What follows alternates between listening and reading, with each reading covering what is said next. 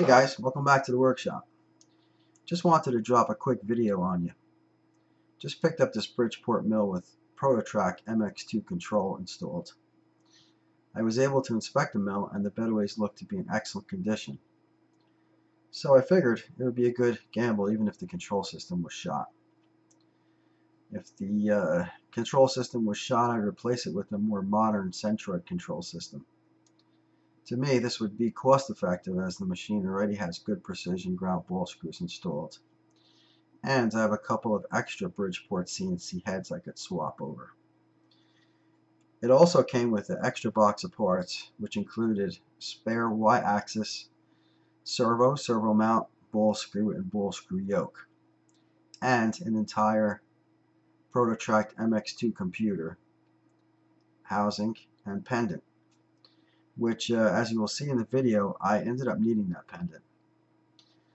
I'm still wrapped up in my Bridgeport Boss Centroid conversion, but needed a break from that, and I did want something that I could just turn on learn to operate, and start making some chips.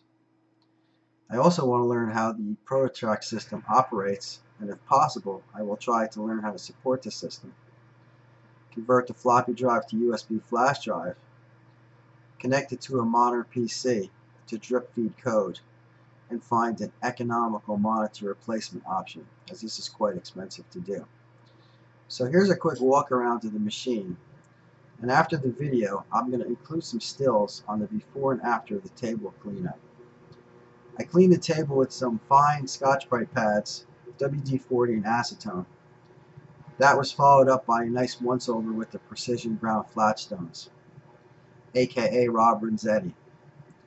I can't do anything about Bubba and his hammer and chisel marks on the table, but it did come up with a beautiful burnish from the Flatstones, and surprisingly it cleaned up well. A couple of notes about the machine. The serial number shows it as a 1963. I'm curious to the fact that it has a vari-speed head. If anyone knows what year the vari-speed head came out, please leave that in the comments. You can also see that it must have had the old push oilers installed at some point, as there are some brass fittings installed in the front of the saddle. The bedways are chrome plated and are all in very good shape you can see you can still see all the scrapings, including the ones under the table. I wonder if that's original or if they were just rebuilt at some point. Well, one last note. After I made the video, I noticed a couple of the oil lines were cracked and leaking. You'll see some pictures of that after the video. So, I suppose that'll be the content of my next video. Well, enough talking. Here's the video. Check it out. Thanks for watching. Hey guys, so uh, I got the Prototrak delivered finally today. She needs a bit of a cleanup job, but she looks to be in fairly good condition. All the scrapings are still there. Um, got quite a patina on it, but you know, that's not going to work for me. So of course, as soon as she came in, uh, I needed to plug her in. And if not to see the spindle work, I wanted to see the actual uh, Prototrak system, if it functioned or not. And um, so you can see there's two pendants. The bottom one's the original pendant, and I powered it up, and I got no power. Uh, no, no, nothing lit up. I heard the computer running, but that was nothing. So fortunately, I had gotten a box of spare parts with this and including a whole nother computer and a whole nother pendant. So first thing I tried, since I heard the computer running, this is this runs off a floppy drive, but uh, so I swapped out the pendant. And it wasn't very hard to do. You could see there was a DB25 and two power cables in the ground and uh, and then there was a uh, there's a, like a little jogging button or a button that takes you to the next step in the program. So I swapped those out. Give you a quick look at the computer. This bad boy is working off 110 volts. And that also powers the X and Y. And there's your computer. She's a 386.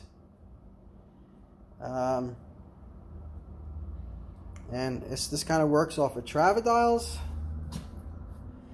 I don't know if they're steppers or servos, but uh, after tightening some loose connections, I was getting some servo faults.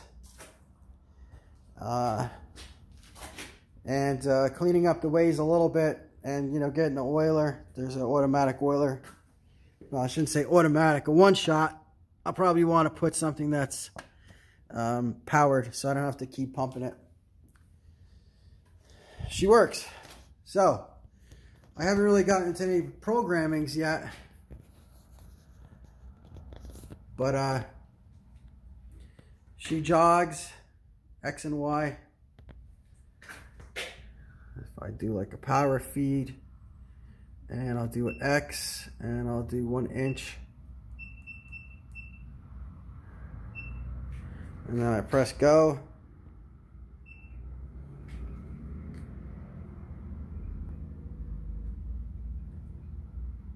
X and Y works, and she does rapids too. So I'm to start cleaning her up, and I'm to bring you back and uh, keep you updated on my progress. All right, thanks guys. Stay safe out there.